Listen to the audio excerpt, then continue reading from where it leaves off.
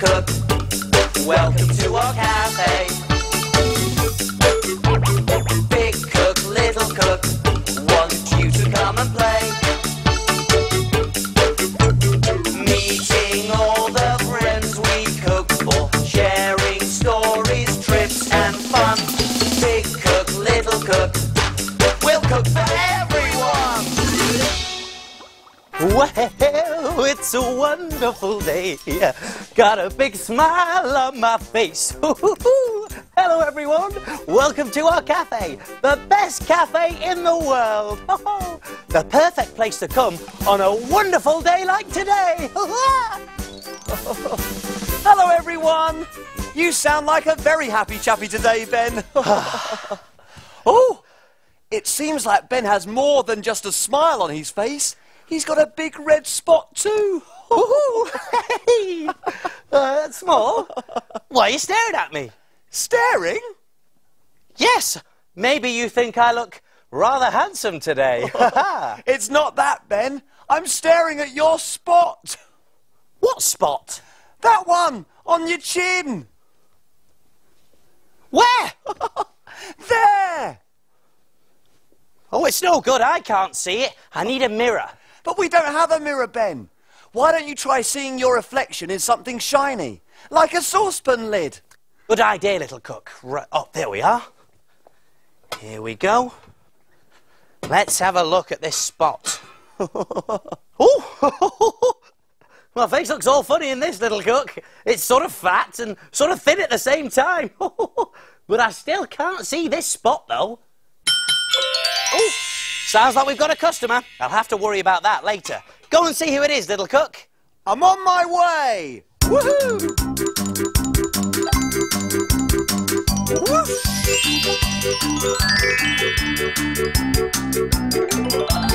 So, who's our customer today, Small? Well, she's white with brown spots. Hmm, white with brown spots, you say? Give us another clue. She likes to go moo. And she's very good at jumping over the moon. Oh, wait a minute. Hey, diddle diddle, the cat and the fiddle. The cow jumped over the moon. The little dog laughed to see such fun, and the dish ran away with the spoon. Ho ho! It's Clover, the cow who jumped over the moon. You're right, Ben. Clover the cow. Now, what would a moon jumping cow like to eat? I think it's time to look in my book. We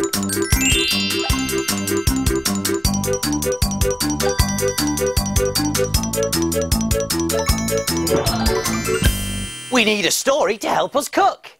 Let's take a look in Little Cook's book.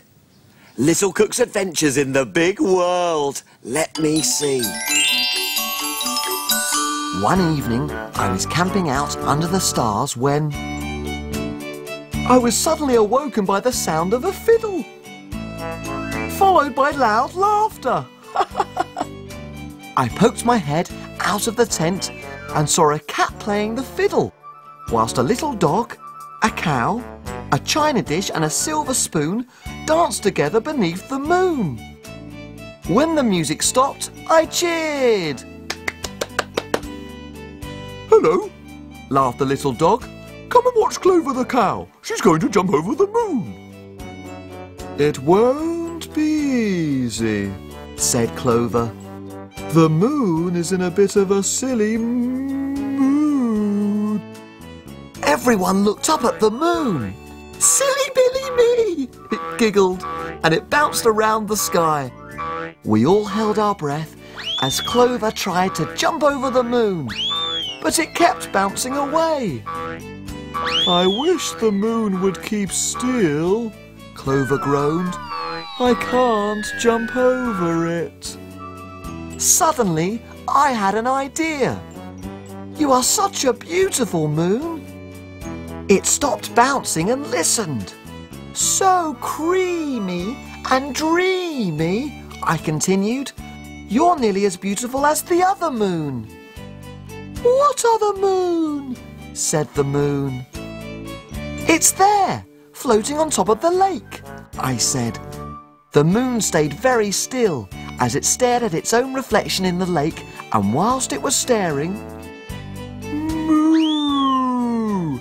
Clover the cow leapt right over it. Hooray! I cheered. There isn't really a moon more beautiful than you, I told the moon. It's just your own reflection in the water. Silly Billy Moon giggled the moon, admiring its own reflection. And suddenly it saw Clover's reflection too, just as she jumped over it. Hee hee. We look wonderful together, Clover, said the moon.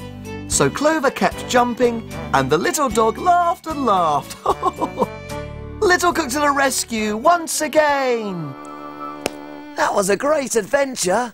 So Clover jumped over the moon, and the moon was very pleased indeed, thanks to you, Small. Thanks, Ben.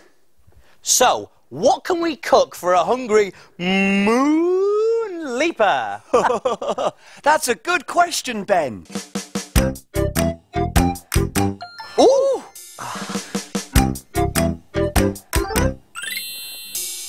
I know! Big Cook's Big Cookery Book! Of course, the big cookery book. There's recipes for everything in there. And where do we look for things to cook? In the book. In the book. In Big Cook's book. Aha, here we go. I found just the recipe for clover. It's creamy, it's dreamy, and a little bit dotty too. It's spotty trifle. And it's spotty, just like Clover the cow. it's mooper duper. Okay, you read out the ingredients, little cook, and I'll see if we've got them. okay, let's see. We're going to need jelly, Oh, jelly, yes, here we go. Jelly in the cupboard. Oh, we're using strawberry, but you can use any flavour you like. trifle sponges, In the cupboard as well. Got the trifle sponges small. jam, Oh, jam, yes, lovely jam. Yep. a tin of fruit cocktail, Oh, very fruity. Got the fruit cocktail. custard, Oh, lovely yellow custard. I love this. Got it small. chocolate buttons, Chocolate buttons. Oh, lovely chocolate buttons. I love these. In the fridge. Chocolate buttons. Got those too small. and some cream for whipping. Oh, delicious cream. Here we go. Oh, right. Okay. There we are. Right. Small, we don't seem to have any cream for whipping. Oh no! But it's okay because we've got everything else. So why don't you whiz off and get some and I'll get all the ingredients ready. That's a great idea, Ben. See you later. hey, why don't you come along too? Way! Go, Small, go, Small, whiz away! I wonder what he'll see today.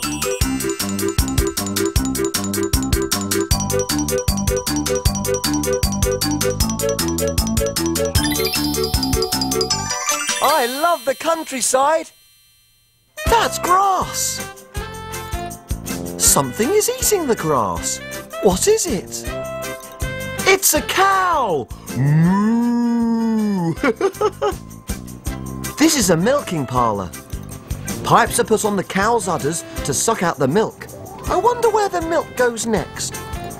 Hey, what's in that big tanker? Oh, it's full of the milk from the cows. The milk is being delivered to the dairy. That man is connecting up a pipe so that the milk can travel from the tanker into the dairy to be made into cream. This is the dairy. The milk is heated up to just the right temperature and it travels through all these pipes. The cream is separated from the milk. That's the cream! Now the cream is poured into this machine. It's called a pasteurizer. The cream is heated up to get rid of any harmful bugs. This makes it safe to eat. The cream is now cool and ready to put into bottles. Remember to keep your cream in the fridge. I'd better get some of this cream back to the cafe. See you later.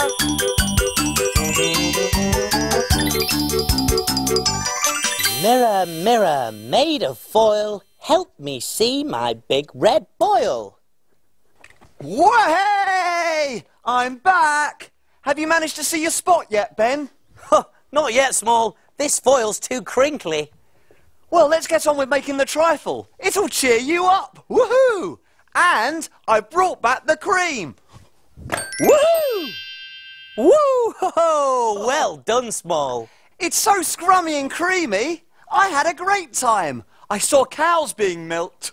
Moo! and then I went to the dairy where I saw cream being made. Oh, yummy! Come on then, Small. Let's get started. We're all ready, so take a look. And we will show you how to cook. Jelly boats and pirates gold, princess pea pies, carrot cakes and fruity smiles. As envelope surprise. We love our cafe and we love to cook. We have a fantastic recipe book. He is big cook and he is small. Friends in our cafe, we cook for them all. When your tummy Gets all rumbly, you're ready for a treat. You can make something delicious to eat.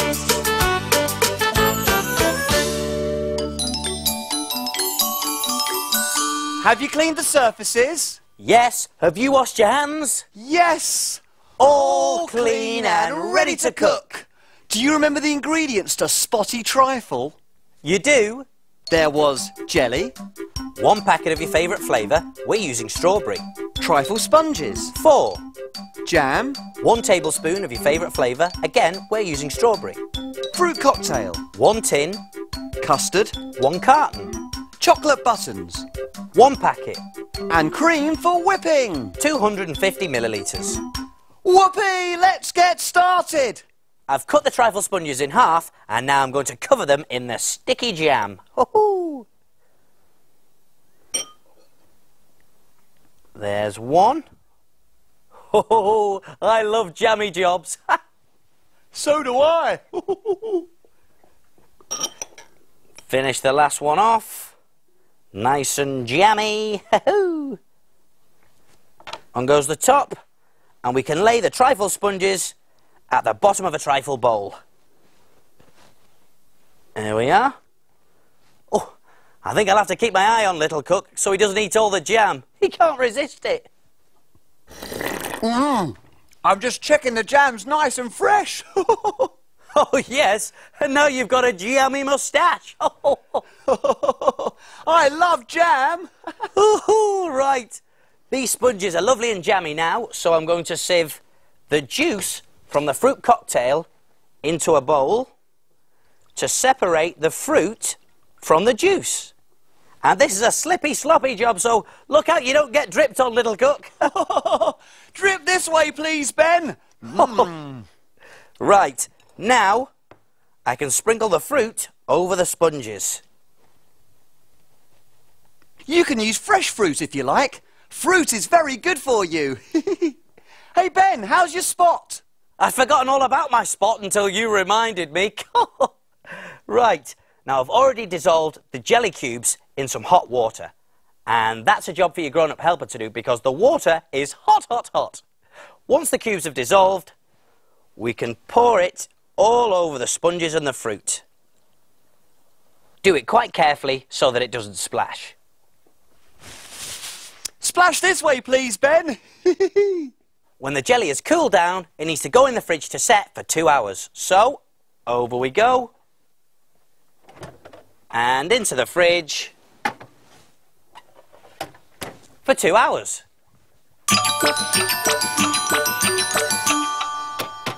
The jelly is set now, so it's time to pour on the custard.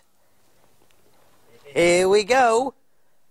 Oh, look at that! It's like a lovely yellow custardy waterfall. Is it time to put the cream on now, Ben? Yes, it is small and it's gonna get gloopy, so stand well back. Pour the cream into a bowl like this and then start mixing. It'll start to get thicker. An electric whisk will help, but I'm gonna try and do it with my arm. Be careful, Ben. oh no! I've been splattered. Whoops! Sorry, Small. Now look who's got spots. I better go and get myself cleaned up. Now the cream's ready when it starts to make little mountain peaks like this. So once it's ready, we can start to spread it on the custard. So I'm going to take a spoon and onto the custard it goes. And we've got lots of it, so get it all on. There we go, lovely and creamy. And spread it out. Nice and smooth. what about the spots, Ben? A spotty trifle needs spots. Oh, whoops, I almost forgot. To make the trifle spotty, we cover it with chocolate buttons. Spotty, dotty, spotty, dotty. Spotty, dotty, spotty. There. And when the trifle's nice and spotty, it's finished. Quick, Ben, get it to Clover the cow while it's still nice and cool. Okay then, one spotty trifle coming through. There. All done. So what do we do now? Can we play? Not yet. Time to clean and put away. Hooray!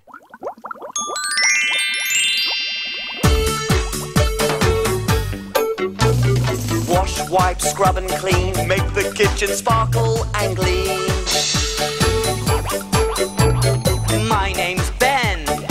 My name's Small. We've got the cleanest kitchen of all. Tidy all the bits and bobs, the things that help us do our job. Ingredients we'll put away, ready for use another day. Pots and pans will start to smell if we don't wash them really well. And now it's clear, let's all smile. We'll be finished in a little while. All around, up and down, we've got the cleanest cafe in town.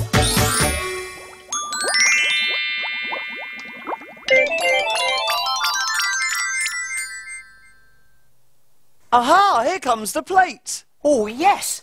And it looks like Clover the cow enjoyed her spotty trifle. Look, Small. She's left a note. Well, what does it say? What does it say? Let's see, shall we? It says, Dear Big Cook Ben and Little Cook Small, thank you for the scrumptious spotty trifle. Hoo-hoo! I'm very busy moon jumping these days. The moon keeps still most of the time. She loves watching our reflections in the lake. Oh, talking about reflections, I have a moon mirror for each of you. I hope your spot goes soon, Big Cook Ben. Big moos from Clover. Look, Small, it's mirrors. Here's your mirror, Small. Thanks, Ben.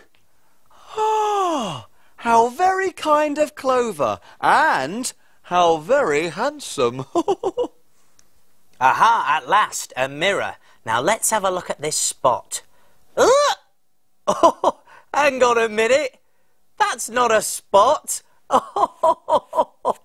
it's a blob of tomato sauce. See you soon. See you soon.